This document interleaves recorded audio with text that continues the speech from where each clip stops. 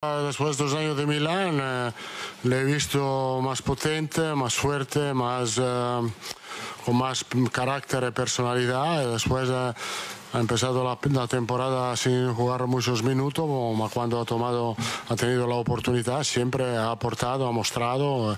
Ahora su, su nivel es un nivel donde se ve que tiene mucha confianza en lo que está haciendo. Ha, sido, ha marcado un gol espectacular eh, increíble eh, y como siempre ha, ha, aportado. Hay que destacar obviamente el gol eh, como el trabajo que ha hecho él con todos los otros. Porque lo, lo primero que he pensado cuando he empezado el regate, he pensado, le he gritado no perder el balón, no perder. No.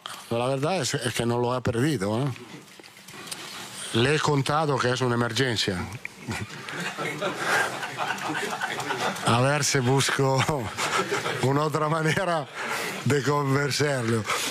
Por emergencia lo hace con gusto. A ver cuando no hay emergencia, ¿qué me dice? Porque lo anulado lo puede preguntar al árbitro. Lo que entiendo yo que era una interferencia del portero estaba atrás, el, jugador estaba empujando a Lunin y creo que era un fuera, de juego bastante claro. Uh, hemos tenido un malentendido porque no han sacado el balón afuera, cosa que nosotros lo hemos hecho y al final me ha pedido disculpa y ya está. Mm, somos un equipo solidario con calidad. Ese, si tú a la calidad le, le metes el compromiso, puede pasar algo bueno.